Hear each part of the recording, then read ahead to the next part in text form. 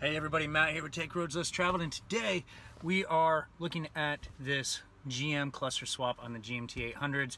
That is the Silverados, the Suburbans, Tahoe, Sierras, Yukons, Yukon XLs, Escalade, Escalade EXT, and Chevy Avalanches from 99 to 2006. The process is going to be the same. However, remember that 2003 they introduced a different plug style on the gauge clusters. So only use gauge clusters that work with your range of vehicles. So 99 to 2002 work in amongst those years. 2003, excuse me, 2003 to 2006 work within those years. You can't interswap between those two sets because the plug is different. So we're gonna get right into it. This is a real easy process with very, very little tools and very little time. All right, first things first is we actually need to lower this steering wheel down. So you're gonna need your keys. Just gonna put them in Make sure that your parking brake is set and we're just gonna take, drop that steering wheel all the, all the way down. You don't need to start the vehicle, just put it into accessory mode and you're gonna bring that gear lever all the way down into first gear. That gives you plenty of room to work with. Next up, we're gonna take little plastic shim. This is great for removing uh, trim pieces.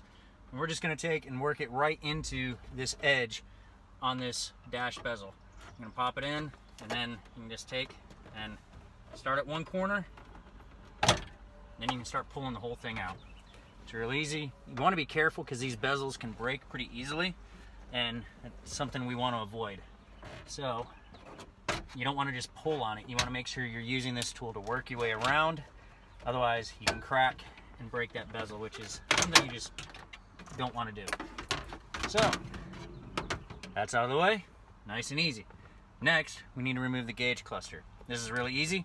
All you need is a ratchet, an extension, and a seven millimeter socket. You have four bolts. They're right up at the corners of the cluster. You get this in a little closer so you guys can see. So you have one here, you have one right down here, and on the other side, corresponding areas. So real easy, not that hard to get to or anything. And we just got to pull those out.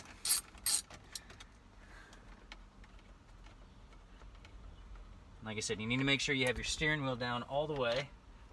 Sorry about that. Get down to this bottom one down here.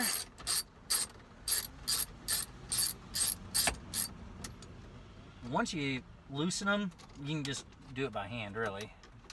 It's a lot less annoying. It goes a lot quicker that way, too.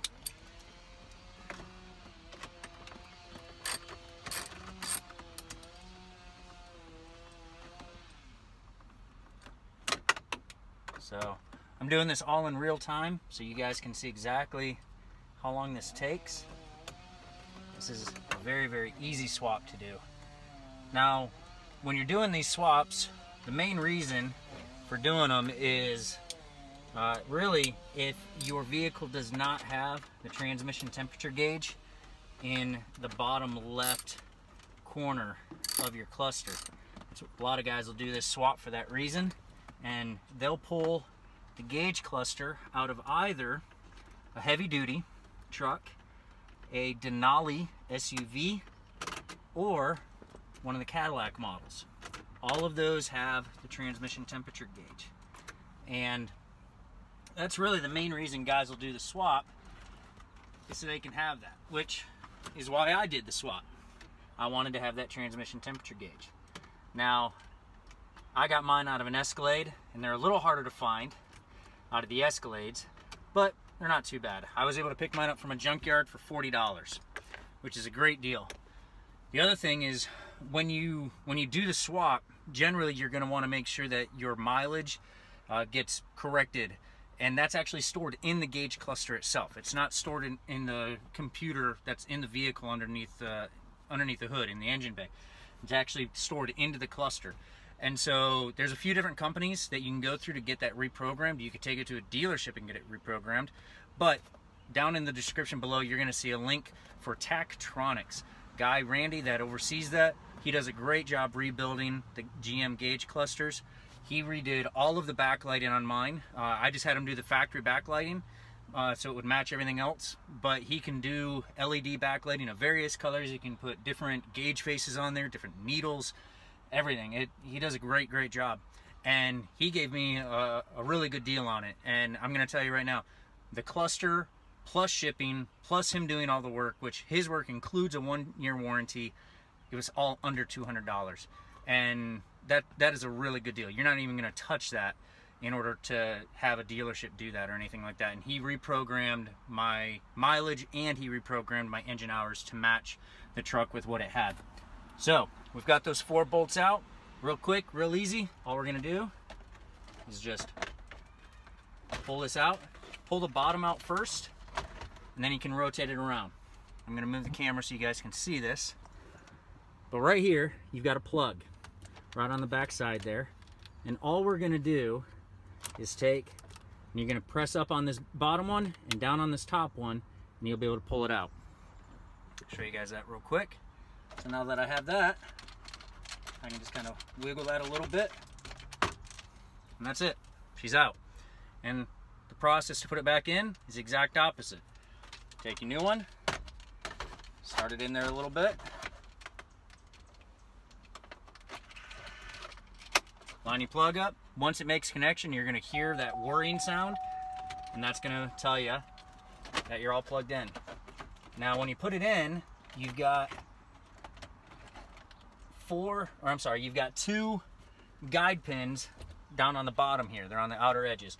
Just make sure those get lined up. Then you're just gonna put your bolts back in. When you put those back in, just remember, you're, you don't need to crank these down real tight. You just need them snug, and it'll hold the gauge cluster back in. Then you put your trim panel back on, and that's it. And that's how you redo a gauge cluster, reinstall a brand new gauge cluster, do the swap on these 99 to 06 GMT 800s. Like I said, on in 03 they changed that plug design, and the difference is rather than being on the back of the plug, uh, like the 03 to 06s are, the 99 to 2002s have the plug on the top. So it's a little bit different, but same premise overall throughout the entire range. Like I said, just make sure you're getting the cluster from the right year of vehicle. Great way to know if you're getting the right year of vehicle is to look at the door jamb. And on that door jamb, you'll see a sticker right here. And you can see mine was built in January of 2006. That makes mine 2006. So that tells me that I knew I needed to find a cluster out of an 03 to 06. So guys, I hope this helps and we'll see you on the next video.